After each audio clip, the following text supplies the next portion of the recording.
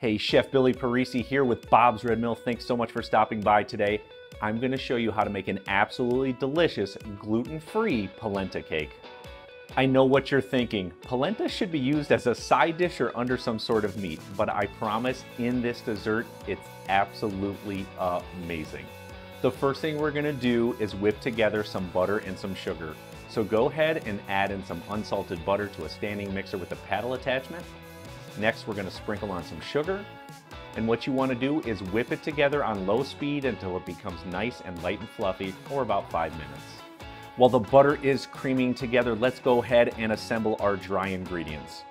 As I said before, this is gluten-free, so I'm gonna be using Bob's Red Mill one-to-one gluten-free baking flour, which is the perfect sub for any of your normal gluten recipes. Simply sub out the flour for this one-to-one flour to make it gluten-free. Next, I'm gonna be using some gluten-free cornmeal. Obviously, this is a polenta cake.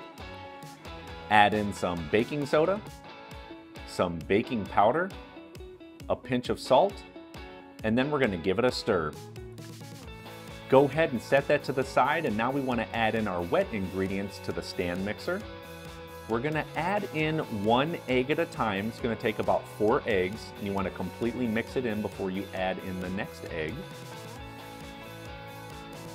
Last but not least for the wet ingredients, we are gonna pour in some whole milk. And to finish off our batter, we simply wanna pour in our dry ingredients that we mix together very slowly while on low speed in the stand mixer. Once it is combined, transfer it over to an eight or nine inch deep cake round that's been prepared with butter.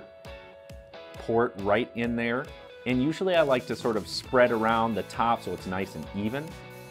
We're gonna go into the oven on 350 degrees. It's gonna take about 40 to 45 minutes for it to completely cook.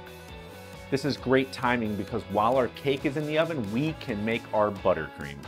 So go ahead and add some unsalted softened butter to the uh, clean stand mixer with the paddle attachment. We're gonna whip it together on medium speed for about four to five minutes or until it becomes nice and light and fluffy. We're gonna add in a little bit of powdered sugar, followed up by drizzling in some maple syrup. It's gonna have a really awesome flavor that's gonna complement our polenta cake. Now that everything is finished, let's go ahead and take our cake out and put it on a resting rack and cool it to room temperature. To finish off this dessert, all we need to do is add on our maple buttercream. This doesn't have to look extremely pretty or anything because we're gonna load up the top with berries. So I use a spoon and just sort of move all the buttercream around just so it covers the top really well. And like I said, we're gonna put some fresh berries right on top. I've got some strawberries, some blackberries, some raspberries, some blueberries. It's gonna look beautiful, it's gonna taste even better. No doubt that this polenta cake is absolutely gorgeous. The mixed fresh berries combined with that dark brown from the polenta cake, it is beautiful and you get the most wonderful flavor combination from a little bit of the savory cornmeal to the wonderful maple buttercream that complements to perfection. Thanks so much for stopping by. Be sure to come back next week and see all of our great recipe videos.